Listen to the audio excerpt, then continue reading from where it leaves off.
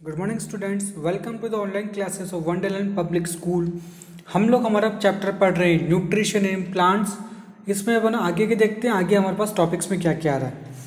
आगे हमारे पास आ रहा है ऑटोट्रॉपिक न्यूट्रिशन मतलब वो न्यूट्रिशन जिसमें ऑर्गेनिज्म अपना खाना खुद बनाता है, दूसरे मटेरियल्स को यूज़ करके।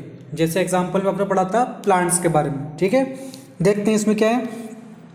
Auto means self and trophic refers to food auto का मतलब होता है सेल्फ खुद ट्रॉपिक फ़ूड के लिए so the organism which synthesize their own food तो वो ऑर्गेनिज्म जो अपना खाना खुद बनाए using C O two are called autotrophs carbon dioxide को यूज़ करके जो अपना खाना खुद बनाए वो कहलाते हैं autotrophs and this process is known as autotrophic nutrition इसके अंदर एग्ज़ाम्पल में क्या क्या आ रहा है हमारे पास green plants and some bacteria याद रखना प्लांट्स हर प्लांट ग्रीन नहीं होता है। हम चैप्टर में आगे पढ़ेंगे, बहुत सारे प्लांट होते हैं, जिनका कलर ग्रीन को छोड़ के कुछ और भी होता है। इसीलिए स्पेशली आपको लिखना होगा एग्ज़ाम में भी, और याद रखना है ग्रीन प्लांट्स और autotrophic not all other plants और ऑटोट्रॉपिक ठीक है?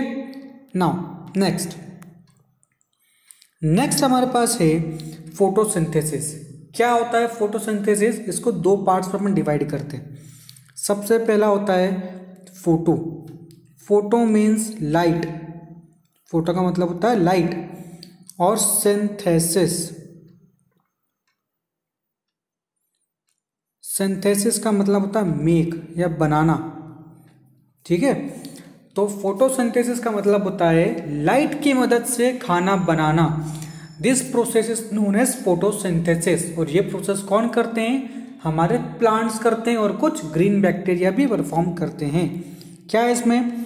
The process by which autotrophic green plants make their own food from simple inorganic substances कुछ सिंपल इनऑर्गेनिक सब्सटेंस की मदद से अपना खाना खुद बना रहे हैं। जैसे कार्बन डाइऑक्साइड हो गई वाटर हो गया। Specially in the presence of sunlight अब सनलाइट क्यों दे रखा है? क्योंकि एक बात सोचो मोस्टली प्लांट्स अपना खाना किसकी प्रेजेंस में बना रहे सनलाइट की प्रेजेंस में। लेकिन ज़रूरी नहीं है, आप पौधे को घर में ला के रखोगे, उस पर बल्ब जलाओगे ना तो भी फोटोसिंथेसिस उसके अंदर होगी।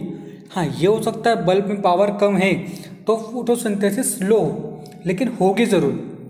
तो वही आपसे बात कर रहे हैं कि कार्बन डाइऑक्साइड वाटर का यूज़ तो करना है, साथ में लाइट भी चाहिए और ग्रीन पिगमेंट कॉल्ड क्लोरोफिल, सबसे इंपॉर्टेंट वर्ड क्लोरोफिल होना ज़रूरी है। आपसे बहुत बार कंपटीशन में क्वेश्चन पूछा जाता है। Name the green pigment present in the leaves और plant answer is chlorophyll. Is known as photosynthesis ये हुई हमारी फोटोसिंथेसिस की डेफिनेशन कोई पूछे फोटोसिंथेसिस होता क्या है?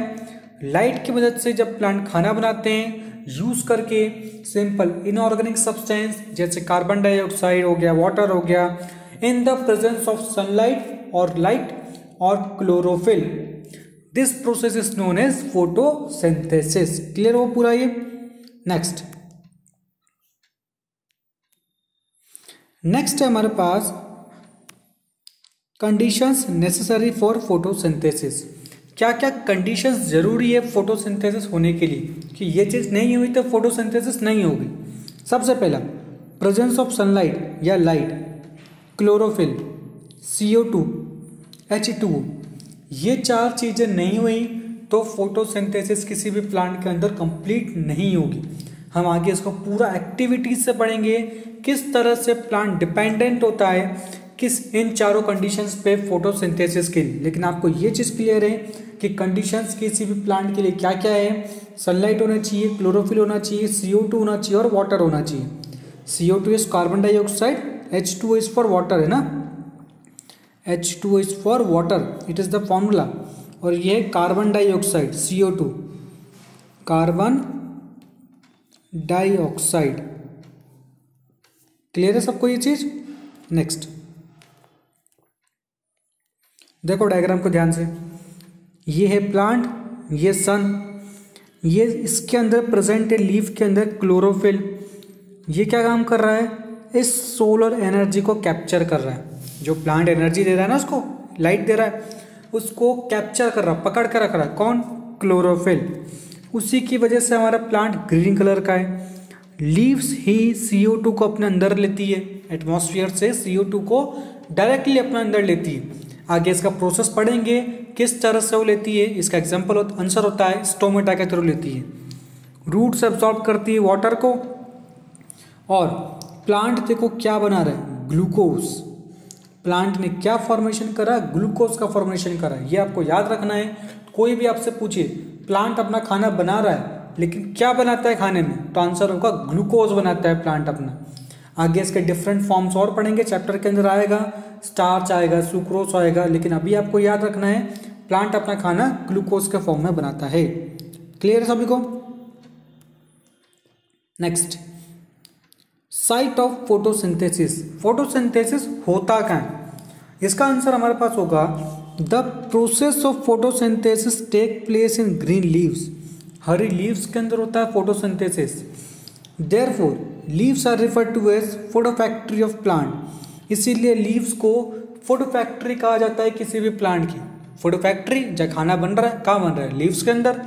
तो आंसर क्या होगा हमारा? Food factory of the plant are leaves of the plant या फिर बोले green leaves of the plant ठीक है? रॉ मटेरियल क्या क्या चाहिए फोटोसिंथेसिस के लिए? द प्रिपरेशन ऑफ़ कार्बोहाइड्रेट जो ग्लूकोज पड़ा था ना, वो कार्बोहाइड्रेट का एक फॉर्म होता है। ठीक है? मतलब ग्लूकोज को बनाना।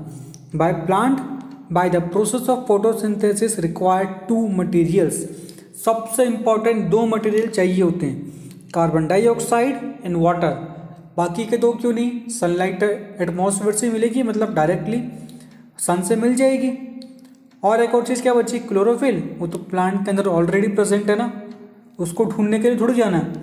चाहिए क्या मेन कार्बन डाइऑक्साइड वाटर अगर आपने ये प्रोवाइड कर दी तो बाकी चीज़ तो उसको अपने आप ही एटमॉस्फेयर से मिल जाएगी। समझ पा रहे क्या चीज़? है ये हमने पढ़ा कि फोटोसिंथेसिस होती क्या है, क्या कंडीशन ज़रूरी है और क्या क्या उसके रॉ मटेरियल्स हमको चाहिए होते हैं उसके लिए। यहाँ तक क्लियर आपको? आगे का अपन नेक्स्ट स्लाइड में देखते हैं।